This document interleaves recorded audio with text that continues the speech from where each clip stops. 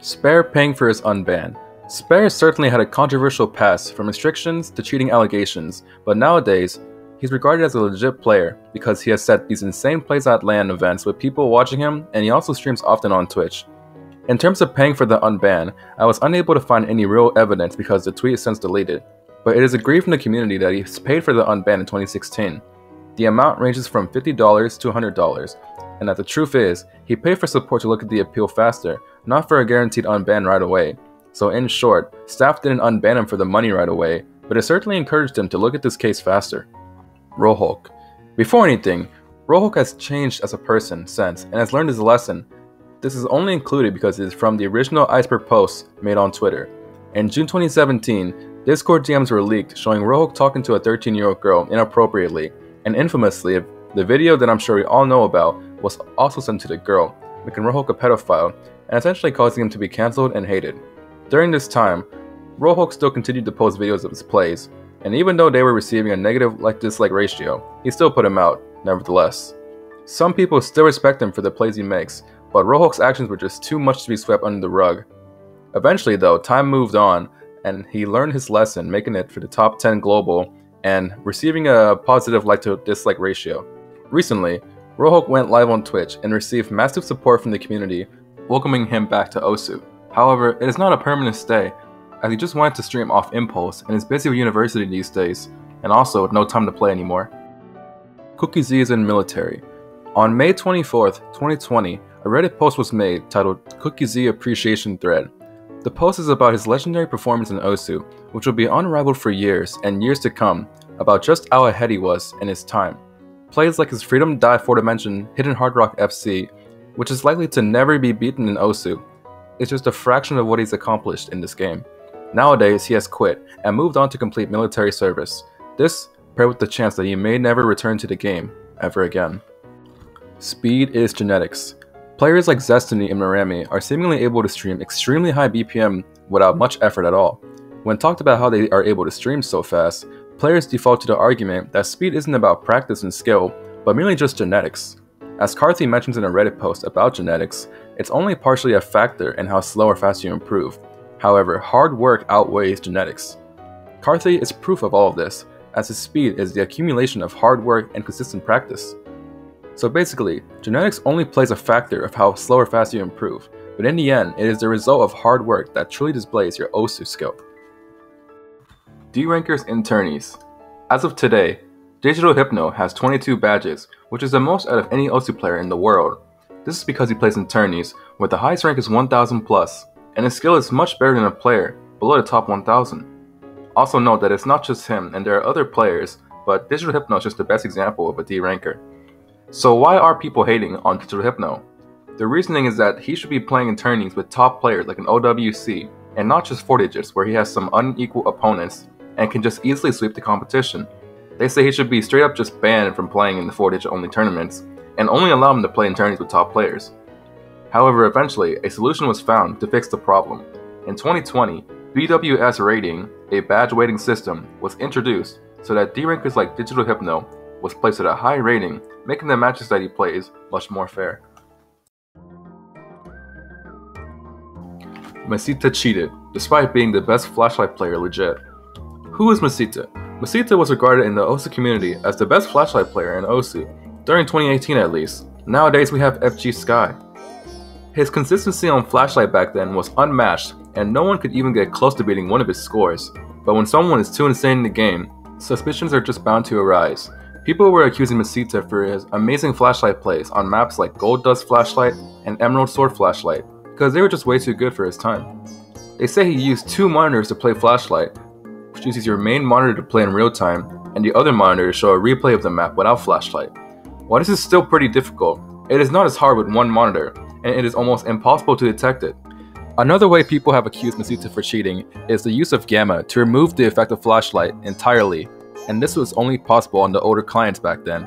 This would allow Masita to be able to produce these insane flashlight scores essentially without even playing flashlight. While there is no proof of this happening, it is a possibility that can never be found out, since all of the old flashlight scores from leaderboards remain today. Also, his low play count at the time just made it look worse for him, and while it could mean that he played offline, people weren't so sure about it. He has posted live plays before on his YouTube channel, the most recent one having a difference of 6 years in between. I would say it's better to give him the benefit of the doubt and say he is legit, since there is no concrete evidence proven in his replays that he's cheating. But what is your opinion? Smoothie World Chihuahua Incident Smoothie World was a top 100 player in 2016 and a well known mapper in 2017, and also hosted tournaments. However, behind the scenes of a seemingly innocent and well respected member in Osu lies a rather unpleasant secret. To get more information on the Chihuahua incident, I was told to DM someone that knew what exactly happened with Smoothie World and his pets. I was linked to an Imgur collection, and while I have some words censored out for obvious reasons, I also read a little bit of it. Three dogs and two cats. I have left my dog me before, but I'm too scared to blank in her blank. I got my first blank to a yellow lab. I have helped my chihuahua a few times. So yeah, at first I thought this was a joke, that anyone would do this to their dog, but you know, now I am mistaken. And even though it's just Discord screenshots, why would everyone in the community be saying that it is true that Smoothie Bro did this to his dog? Nowadays, his name is vanished from Osu, and aside from a questionable fact about him, he was a pretty well respected player. Wowie has schizophrenia. All I can find about the matter is that Wowie has publicly announced on Twitter that he does not have schizophrenia. Karthy on steroids. In 2019, Word was being spread around that Karthy was using steroids to boost his OC performance. He publicly debunked this rumor and had to say this on the matter. Karthy does indeed use steroids, but they are not anabolic steroids, which would increase testosterone to maybe help boost OC performance. It's honestly not recommended at all and provides him more harm than good. He takes corticosteroids, which help his lung and heart problems that he has, not to have him be able to obtain more speed in Osu. Karthy has also said they have helped his motivation to play though, and to improve at Osu, stop being lazy. Biko was cheating. Biko is an anomaly in the Osu community, and he started out in 2010 as a touchscreen player. Then, he came back in 2015, setting some of the best hidden hard rock accuracy plays like Senketsu no Chikai SS and Helix SS his first try, then logging off and disappearing again. Biko and other people have stated that he is an offline player and that he only logs on to Bancho to set his plays that he's been practicing offline. Now, this was quite a controversial way of playing, however, since Biko has never posted a live play anywhere, and the switch of playstyles came out of nowhere and made him look very suspicious. In a video by Willie titled The Mystery of Biko, Spazza17 pointed out how he never shakes an Osu, having his aim look robotic, and even idke, one of the best nerve control players in the world, still has shaky aim whenever he's nervous. There's a lot of valid points to be made about Biko cheating, but his account is still unbanned to this day.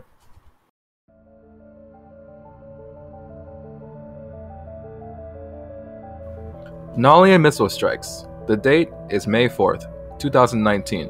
A well known Osu streamer from Israel named Nalian is having an ordinary live broadcast on Twitch. Nothing seems to be wrong at the moment, except for one thing his location to people who live in a relatively safe area, missile strikes, acts of terrorism, and violence never really cross their mind, and there is no need to worry about it.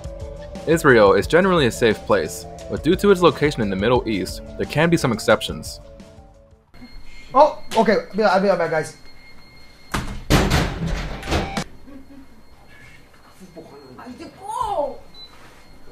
סליחה, סליחה, אני חייב את המזגן. למה תהיה אחר?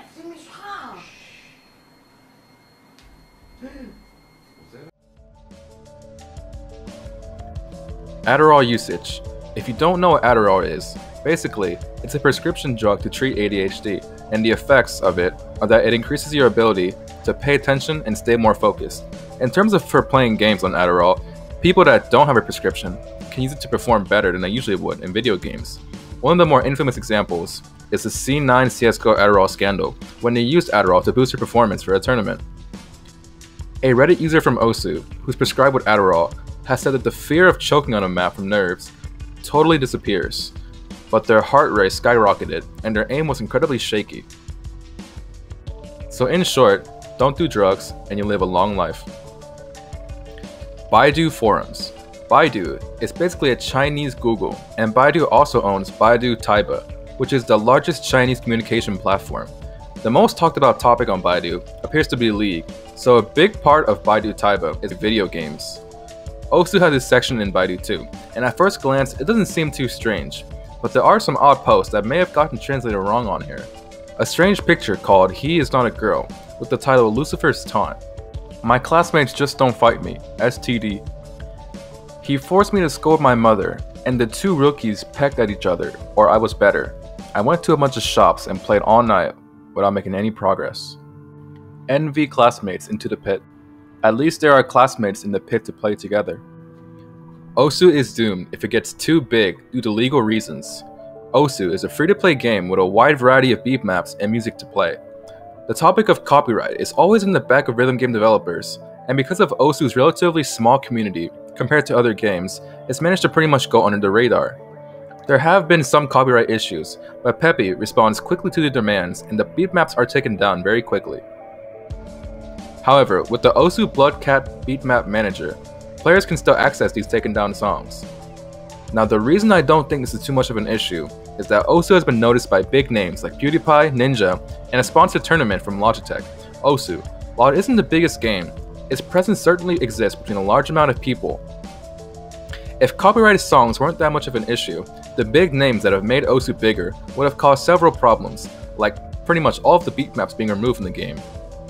Also, being a featured artist in Osu actually increases your fanbase, as people might enjoy the songs from Osu they play, and I just see it as a win-win situation for featured artists. But what is your opinion on this?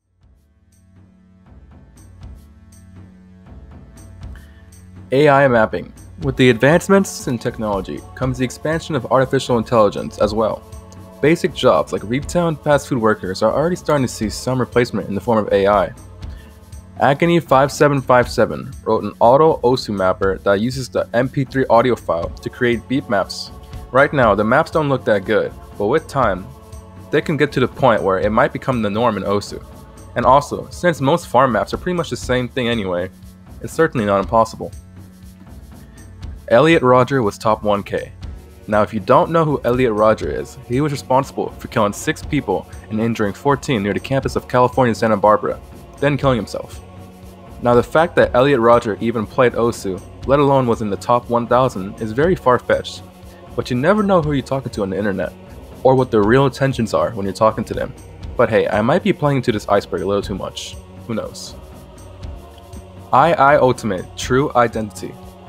From looking up II Ultimate's name on Reddit, he seemed to be an annoying shitposter in the r slash osu game, and half the people were happy to see him gone, and the other half thought it was unfair and thought that he wasn't causing any real harm to the subreddit. In terms of his true identity, I don't think anyone really knows, except that he's just some Reddit user used to post memes. It could be more, but honestly, it's not really that important. How Water paid for the hummus. All I can find is a Twitter account with the name of FSir, who I assume is known as an Osu player, who arbitrarily says How Water paid for the hummus. How Water was an anomaly in his own. He was a top player in 2018, but then submitted a cheated 3-month scoring gangsta, I assume, to ban himself from Osu. After that, he created a Fortnite channel called Howl. Currently it is at 251,000 subscribers on YouTube. The videos are deleted now, but they amass well over a million views each. So yeah, pretty cryptic, but I can't find much in this one.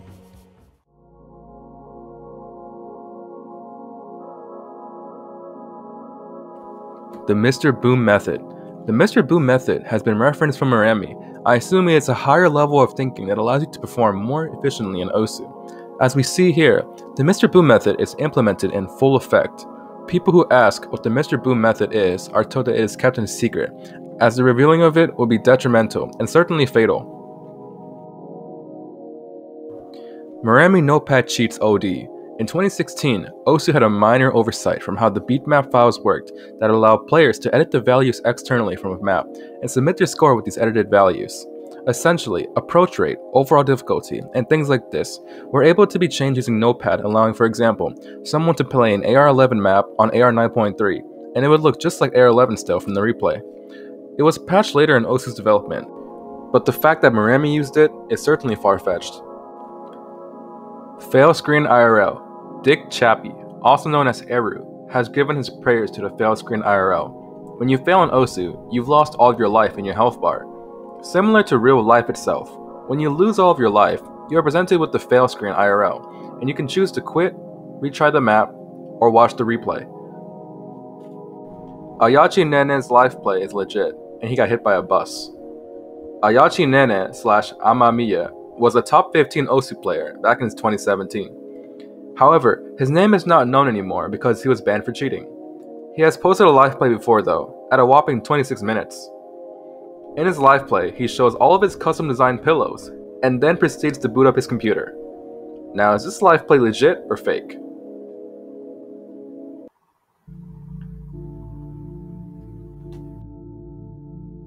And in terms of getting hit by a bus, I don't know. It could maybe happen.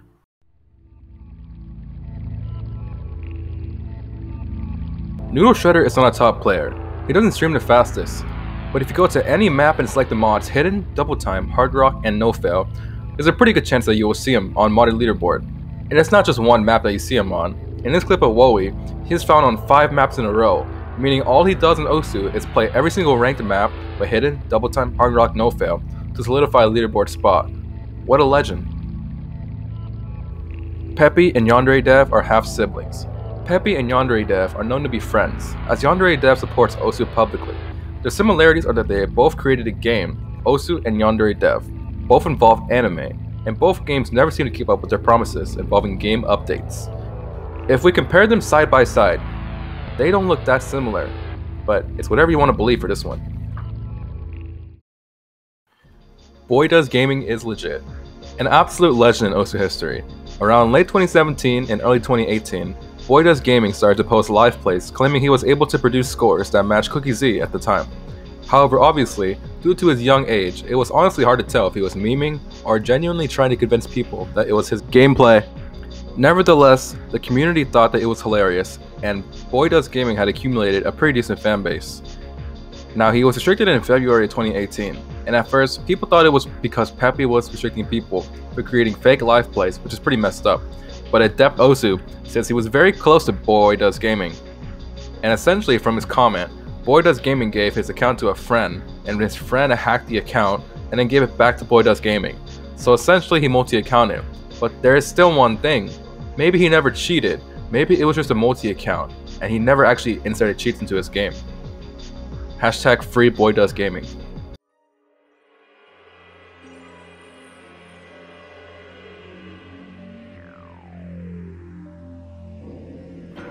Biko was a Russian hacker that replaced Splyce with homemade cheats. Remember earlier how I said that Biko is a legit player, which is very suspicious. Now, there's a theory that the reason for his high abnormal plays is that he has created homemade cheats and spliced the replays together. This theory would make sense if a Russian user bought the account named Biko and submitted homemade replays on it. This would also make sense that the account never plays actively and only gets on to set scores and log out. Biko was known to be a touchscreen user in 2010, so to magically become one of the best hidden hard rock players, even today, 2015, makes this claim slightly more believable. Looking up this Polish file name, we can find a video of it made by Rafis. If you don't know Polish, you would have no idea what Rafis is saying. According to the comments, the title translates to Stalactite of and was a Polish meme on Polish internet for two hours. And there's something about a bad politician too, I guess. Poland is quite a culture. North Korean private servers. As we all know, it's illegal for North Koreans to use the internet. The only people allowed to use it are government officials and foreigners. However, OSU does have a country listing for North Korea known as the Democratic Republic of Korea, could this mean that North Koreans have just created an internal private network just to connect to the OSU servers? Or is it just people with a VPN that have connected to North Korea? Zia Relia is hvick225. Zia is a double time top player in Taiwan. His skill set closely matches to the likes of the great hvick225. Now, the reason why this even has a correlation to begin with is that hvick225 was known as a magic girl by players, even though he's pretty much a guy. Zia is someone who dresses up as a girl, but is also a guy, a trap pretty much. It's a pretty funny similarity, but I honestly can't believe this one. Cookiezi was a bartender. Shigetora has always been private about his life on the internet, so his job could be anything really a male porn star, a drug cartel member, whatever one's imagination could really be. The only relation between Cookiezi being a bartender is that maybe we, he would serve milk at the bar, because milk and cookies. Yeah, I don't have anything on this one. Alternate Dimension Eru. Eru is one of the most mysterious figures in the Osu community, even so that he has an alter ego, Zeru. Zeru is obviously a meme account of Eru, but the topic of alternate dimensions can apply to anyone or anything in the world. Anything that exists in this universe could exist in another dimension or have a similar, totally different existence. If the two same beings from the same dimension meet one another, it could cause a rift in time itself and cause massive destruction.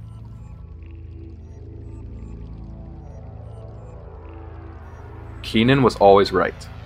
Keenan was regarded as one of the best speed players in 2015 and still maintains some relevance today. What overshadows his great level of play are his Twitter antics.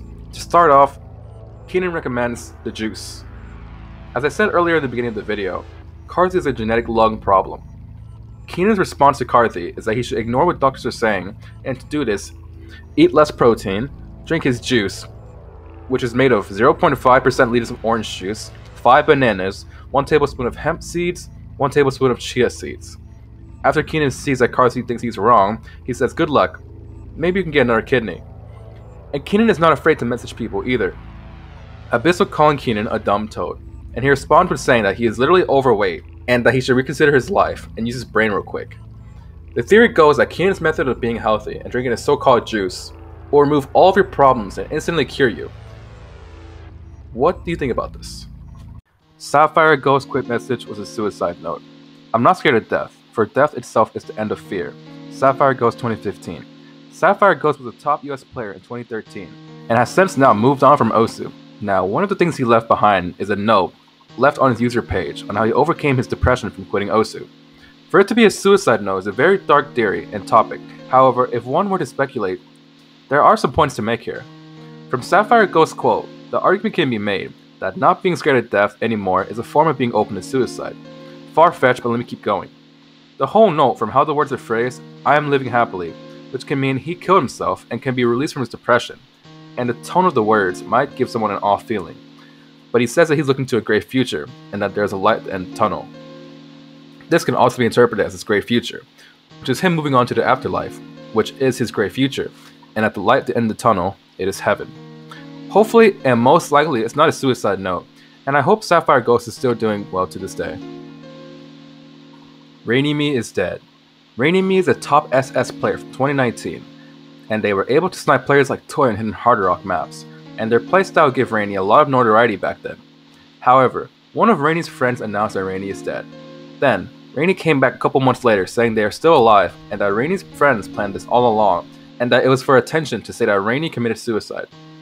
Quite understandably, the Osu community exploded and made memes, and eventually someone doxed Rainy, giving out public information like address and high school. Iwaku made a detailed post about Rainy, and that it was 100% brought upon Rainy.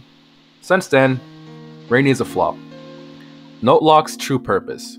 NoteLock is a feature implemented by Peppy, and Rick Put explains it as the OD of a map is too low for the BPM, causing the hit window of the node to overlap itself, causing you to miss when you actually hit it.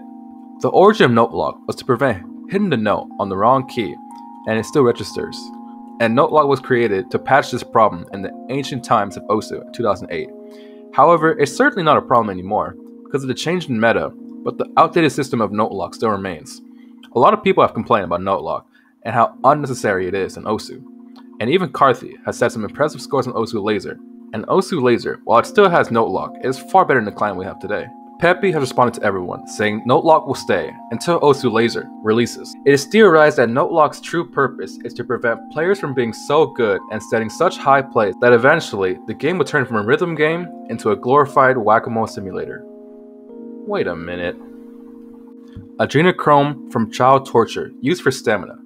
Adrenochrome is a pro Trump conspiracy theory that it is a psychedelic drug harvested from the fear of children. It's an easy to come by compound, and apparently, its use is to harvest fear of children because fear is what encourages kids to have energy.